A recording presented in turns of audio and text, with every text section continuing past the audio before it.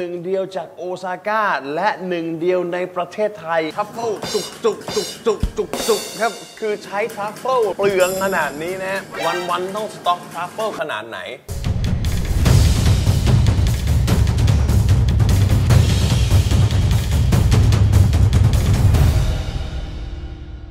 เขาหวงมาก ไม่อยากให้แบบวาตานาเบะไปอยู่ตรงไหนเลย ไม่อยากเลยจีบมาเจ็ดปีจีบรวยยังแค่เจ็ดวันมันก็มาแล้วเดี๋ยวจีบเชฟมาเจ็ดปี ได้ข่าวมีคนมาเปิดเมมเบอร์เป็นคอร์สแม็กซิมัมสุดก็คนละห้าแสนยอมเปิดได้คอร์สทิ้งไว้5 0 0 0 0แสนนฝนไม่ยั้งฝนดังเห็ดหูหนูเห็ดหูหนู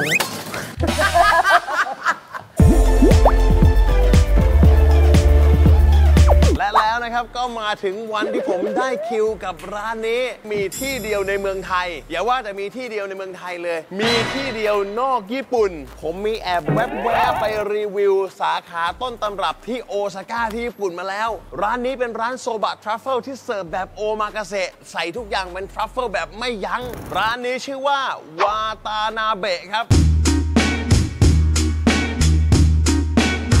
พอเราเข้ามานะครับก็จะเป็นบรรยากาศของแบบโอมากาเสะเลยนะ มีทั้งหมด 10 ที่นั่งด้วยกันนะครับ เชฟก็จะทำให้เราสดๆ อยู่ตรงนี้นะครับ มีเมนูเยอะแยะมากมาย แล้วแต่ว่าเราสั่งคอร์สแบบไหน เดี๋ยวนั่งก่อนนะ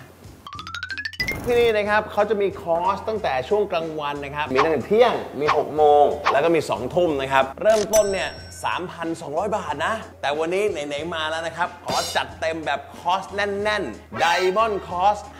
5,500 บาทบวกบวกๆได้ข่าวว่าทรัฟเฟิลจุก ๆ เลยใช่ไหมฮะอ้าวอย่างนั้นต้องโดนอย่างนั้นต้องโดน คือร้านนี้ต้องบอกว่าผมมีโอกาสได้ไปกินเลยแหละ แบบของต้นตำรับนะครับที่โอซาก้าแล้วก็ของเขาจะมีแค่ 8 seat นะ ที่เนี่ยสิ่งที่ต่างกันก็คือมี 10 seat ก็คือจะมากขึ้น แต่วันนี้นะครับเราเริ่มต้นกันกับเมนูแรกนี้ครับ ตัวเมนูแรกจะมีชื่อว่านามะยูบะค่ะ เป็นฟองเต้าหู้ญี่ปุ่นโฮมเมดค่ะ ตัวนี้จะเสิร์ฟคู่กันกับน้ำโซบะดาชินะคะ ซึ่งจะเสิร์ฟแบบเย็นค่ะ อย่างแรกก็คือเรากินแบบสดๆ อย่างนี้เลยนะฮะ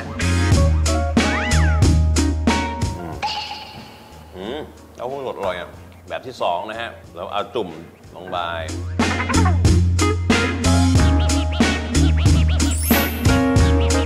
ส่วนแบบที่ 3 เราลงไปแบบนี้เลย ตัวเต้าหู้นี่เราก็นำเข้าจากญี่ปุ่นนะครับ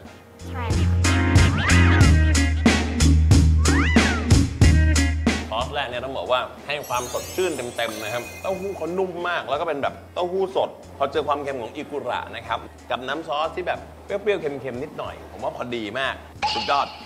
มาไปต่อครับ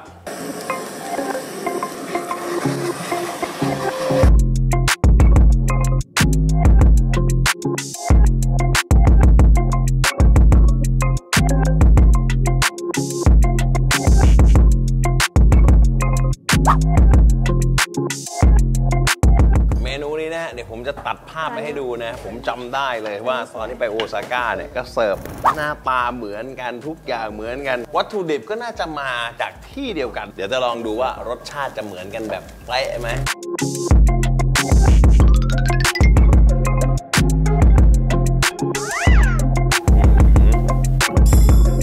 คนชอบทรัฟเฟิลนะ ผมบอกเลยว่าต้องโดนน่ะคือมันมีความหอมของทรัฟเฟิลจะไปเจอน้ำซอส มันยิ่งทำให้แบบกลิ่นเนี่ย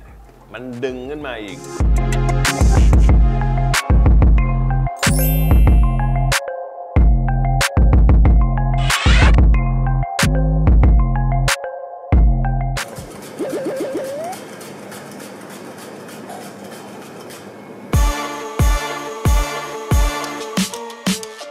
เดี๋ยวนะนี่ทรัฟเฟิลตั้งแต่ตรงนี้แล้วก็ทรัฟเฟิลตรงนี้อีกเหรอใช่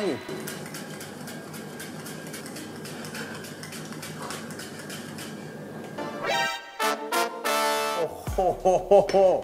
ทรัฟเฟิลจุกจุกจุกจุกจุกจุกครับ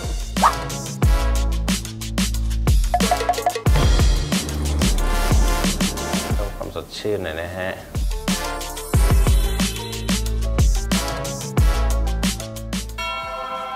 น้ำเดือดแล้วนะฮะ วิธีกินเมนูนี้นะครับ วากิวซุกิยากิก็คือ เราใช้ช้อนนะครับ นี่คนหนึ่งที แล้วก็ตักซุปเดือดๆนะครับ ลงไปในนี้ แล้วก็คนให้ไข่กับทรัฟเฟิลในนี้นะครับ มันเข้ากันเท่านี้กลิ่นก็คือแบบขึ้นมาแบบสุดๆอะอันอันนี้สำคัญมากนะครับ ผมลองมาหลายรอบแล้ว บางทีทรัฟเฟิลหลุด ครั้งนี้ผมเลยรู้แจ้งเห็นจริง เราจะต้องห่อทรัฟเฟิลนะครับ ให้ไปอยู่ข้างในเป็นคำแบบนี้ แล้วก็ลงไปผมว่าประมาณสัก 5 วิก็จะได้แบบ rare ๆหน่อย แต่ถ้าใครชอบสุกหน่อยก็เพิ่มไปได้นะ แต่ผมเอาเท่านี้พอแล้ว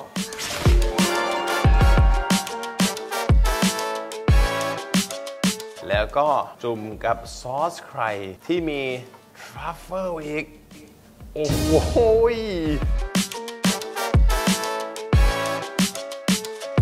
ใครดูตอนกลางคืน ผมต้องขอโทษอีกครั้งนะ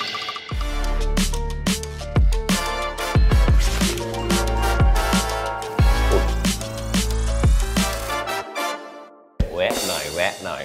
แวะหน่อย อันนี้เราก็กินให้หมดได้เลยนะแต่ยังไม่เสิร์ฟคอร์สต่อไปนะครับจนกว่าคอร์สนี้จะหมดนะ เพราะฉะนั้นไปต่อครับห่อไว้ให้เรียบร้อยเหมือนผ้าพับไว้หนึ่งสองสามสี่ห้าอื้อหือ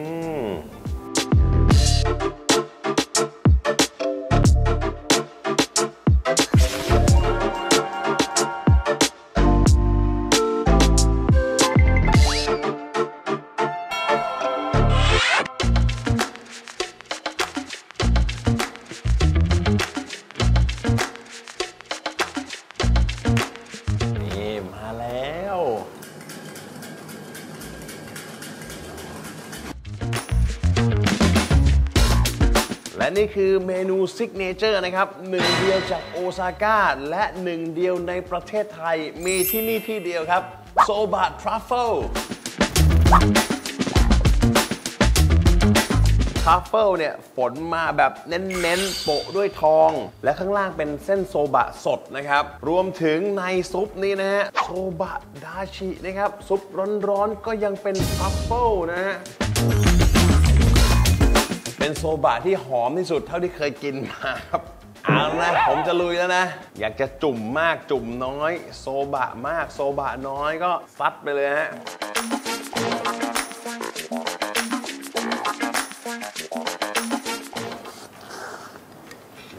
อืม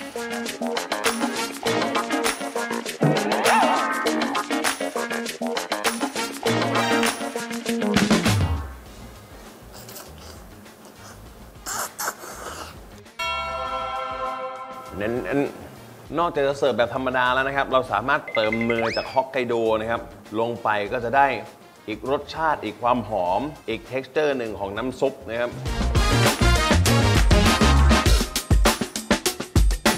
อยากจะซดมากเลย ไม่สดค่ะเพราะว่าเชฟทำมาค่อนข้างเข้มข้น แซบนี่เจ้าของร้านครับมาถึงตอนแบบเมนคอร์สหรืออะไรก็ไม่รู้เมนคอร์สที่นี่เยอะไปหมดนะครับ พัสซังนะครับ หรือมาดามพัสซังอย่างแรกแสดงความยินดีก่อนครับกับร้านขอบคุณมากสาขาค่ะ BKK ขอคลิปก่อนเลยได้ไหมยึดได้เลยครับ อ่าเราฉลองฮะ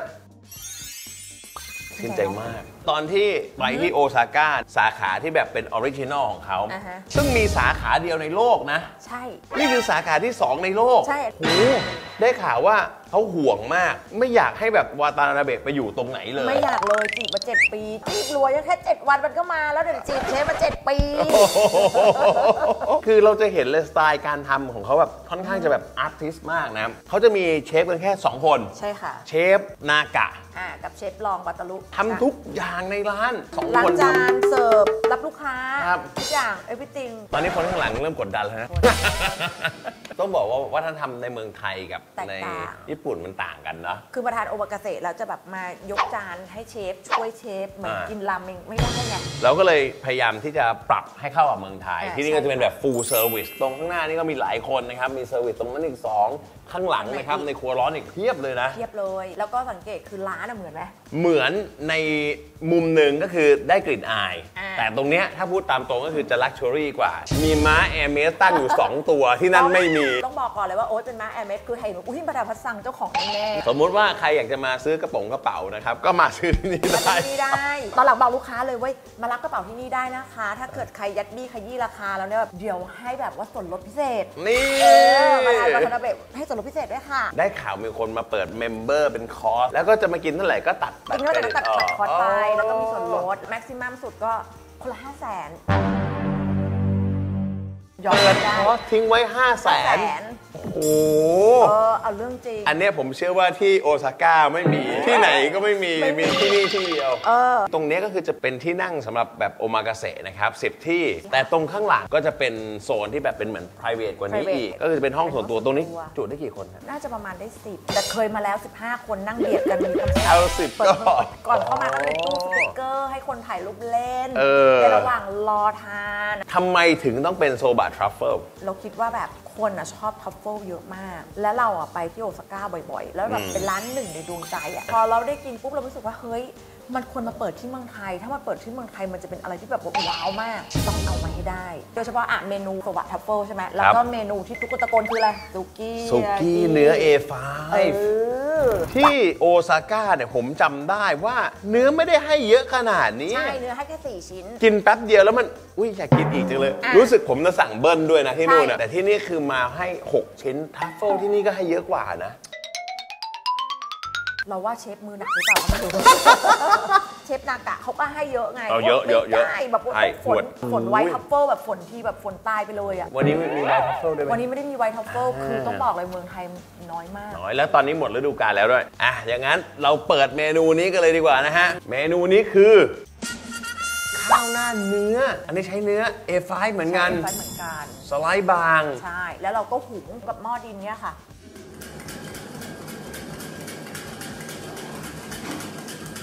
นไม่ยัง้งฝนดังเห็ดหูหนู เห็ดหูหนู คอนเซปต์ที่นี่ครับเออฝนทรัฟเฟิลยังกับเห็ดหูหนูมอยากให้กล้องได้กลิ่นจังเลย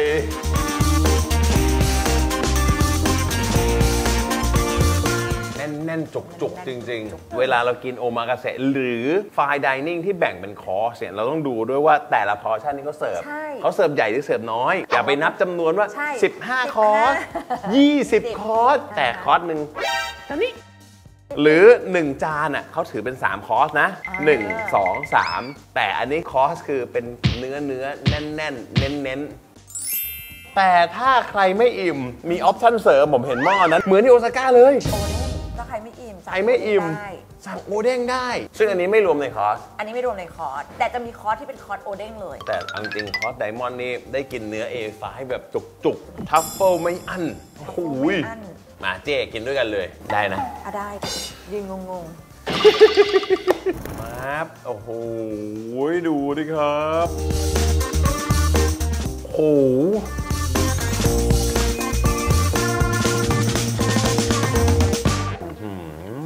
ถึงเนื้อถึงตัวๆข้าวมันจะแบบนัวแบบอย่างถ้วยแรกเนี่ยให้กินเป็นแบบว่าข้าวหน้าเนื้อทัฟเฟิลก่อน แล้วก็ถ้วยที่ 2 แนะนำให้ใส่น้ำซุปของโอเด้งก็จะเป็นแบบข้าวต้ม ข้าวต้มได้อีกเหรอฮะ ซดน้ำซุปร้อนๆเพราะว่าตัวน้ำซุปโอเด้งของเราเนี่ยก็คือมีสูตรเฉพาะเคี่ยวนานอยู่ประมาณ72ชั่วโมง โอ้โห มา ลองต่อครับ สูตรข้าวต้มเข้าวหน้าปลาไหลนะอ่านะแล้วที่ญี่ปุ่นเขาก็จะมีแบบว่าข้าวหน้าเนื้อที่แบบใส่น้ำซุปอะโอ้โหนะจะอีกรสชาติหนึ่งรสชาติต่างเลยแล้วก็สมมุติว่าเรานั่งกินแบบใกล้จะจบคอร์สแล้ว เริ่มจะดื่มมาพอสมควร เจอน้ำซุปนี้ไปปุ๊บตื่น โอ้โห สุดตื่นยอด